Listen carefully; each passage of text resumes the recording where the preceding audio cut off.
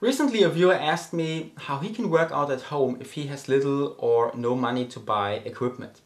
And that is a very good topic for a video because you actually only need little or even no money to work out.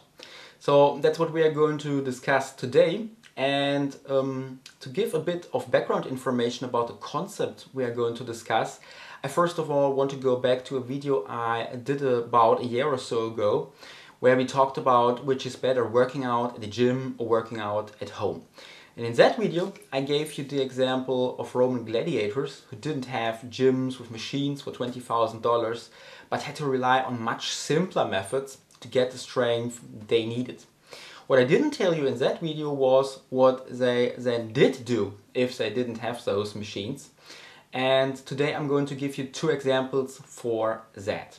The first is what did the gladiator do if he wanted to train his biceps but didn't have dumbbells? And what he did was simply he placed a log across his hands and started curling that log. And the stronger he became, the bigger the log became that he used for that. The second example is what did the gladiator do when he wanted to train his legs? And what he did then was he started pulling an empty ox cart. And the stronger he became, the more weight was placed on that cart. And some of the strongest gladiators were even possible to pull the full cart up a hill, so they uh, probably had some very strong legs. Now, why did I tell you this? When we today think about working out, we either think gym or buying fancy dumbbells and barbells with shiny plates and all that. But when you look at the basics of it, working out simply means working against a resistance. And your body doesn't uh, care where that resistance comes from as long as this resistance is big enough to induce muscle growth.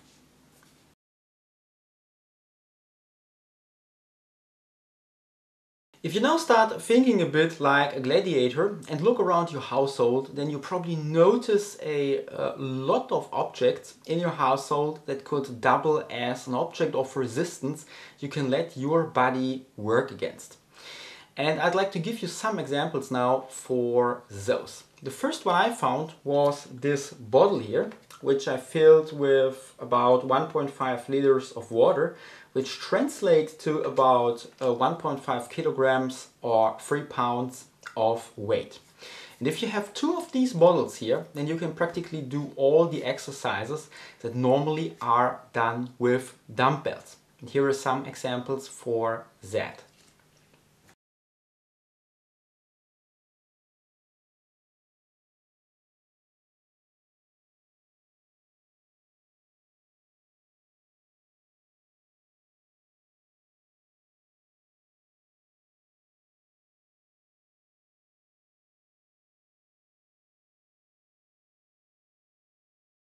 And what at first looks like a disadvantage of using a water bottle as resistance object, the sloshing of the water in the bottle is actually an advantage a real dumbbell can't give you because this sloshing of the bottle uh, while you do a movement means that to hold the bottle stable in your hand more of your stabilizer muscles have to work along and you don't get that with a dumbbell.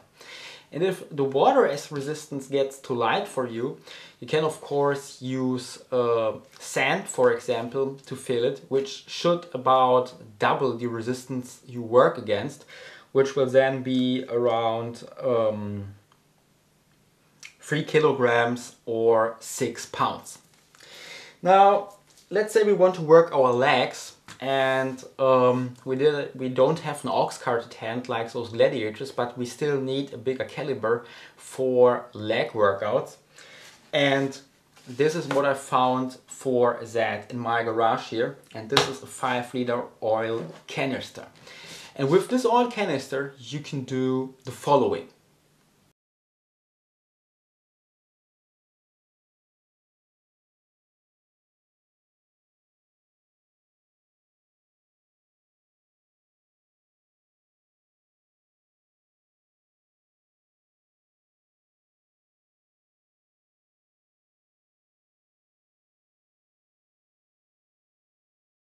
If you now look around your local junkyard or ask at a construction site, you might score a metal rod like this one here for free. And if you combine this metal rod here with two of these canisters, we have a makeshift dumbbell we can use for the following.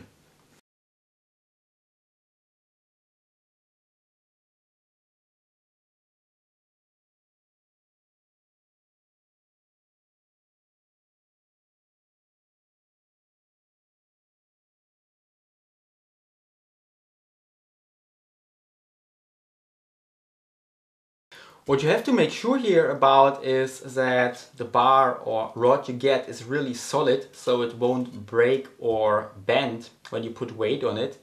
And also what you might want to do is put two rubber stoppers on here so that when you put your weights on them that if you don't hold the uh, rod in balance that the weight won't glide against you. What you don't want to do is um, put your canisters on it and then put stoppers on it so they won't glide off because um, if you do that and you put too much weight on your makeshift barbell you might get stuck under it and that can be really unpleasant. And of course what you should also have is a um, floor, a ground where um, the weights can fall to without damaging it. Now with all this we already have expanded our possibilities to work out considerably but if we add a board like this one, and people who watched my previous videos already know this board, we can use one like this as a inclined bench, like here.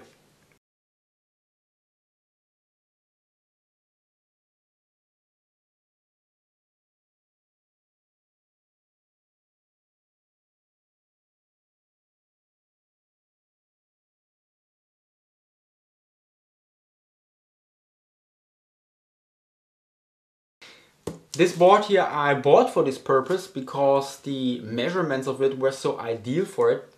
But um, you can find something really similar for free if you look around a bit. For example, when you go to a home improvement store and their kitchen department, they often have these leftover pieces of what were supposed to be kitchen counters, but are cut up to two small pieces to be sold for that purpose. So they often give these pieces away for free or sell them for very little money and kitchen counters are really thick pieces of wood. If the piece you get is a bit too wide for what you need here, then of course you can cut it off on one side to fit your measurements. So, as you can see, um, for very little to no money with just looking around a bit um, for what could serve the purpose we need here um, we found a lot of stuff we can do to work out and have a whole range of possible exercises that we can do.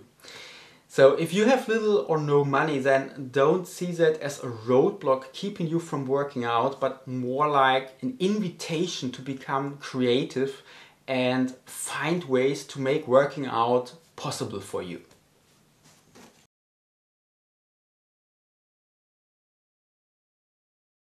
I hope that this video gave you some ideas and inspirations about stuff you can try out for workouts and of course if you now go and do that then of course please stay safe and sound and make sure that whatever you now choose as your new pieces of exercise equipment is fit for that purpose.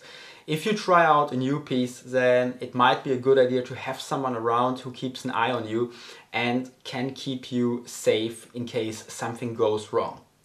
With that being said, thanks for watching. Until next time, bye bye.